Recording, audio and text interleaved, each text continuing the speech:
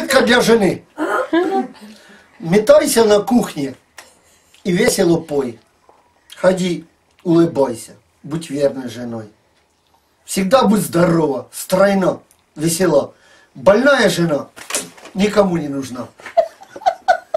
Ходи на концерты, газеты читай. Но главное мужа всегда понимай. Он смотрит футбол, ты постой у плиты. А сядешь за стол, ты ее обслужи. Он книгу читает, ты пол подметай. Козла забивает, а ты постирай.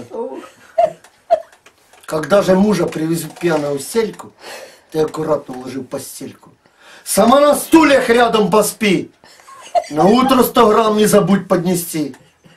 Но если уж он не пришел ночевать, не стоит в измене ее обвинять. Ведь женщин на свете побольше мужчин, поэтому нет для развода